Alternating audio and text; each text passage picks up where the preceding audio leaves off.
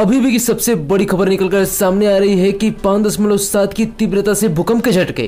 भूकंप के झटकों से कांपी धरती। अमेरिका के कैलिफ़ोर्निया में गुरुवार को भूकंप के झटके महसूस किए गए। भूकंप की तीव्रता रिएक्टर स्केल पर पाँच दशमलव सात की मापी गई है। आपको बता दें कि कैलिफ़ोर्निया के उत्तरी इलाके में भूकंप आया है। हालाँकि अभी तक भूकंप से कोई भी जान माल के नुकसान की कोई खबर नहीं है। भारतीय समय अनुसार ये भूकंप बारह मई तड़के करीब साढ़े चार बजे आया। भूकंप के झटके पैसिफिक कोस्ट और नेवादा के कुछ हिस्सों में महसूस किए गए। इसके अलावा उत्तरी राज्य के आधे हिस्से में भी भूकंप के झटके महसूस किए गए। हालाँकि शुरुआती रीडिंग में भूकंप की तीव्रता पाँच दशमलव सात की दर्ज की गई थी।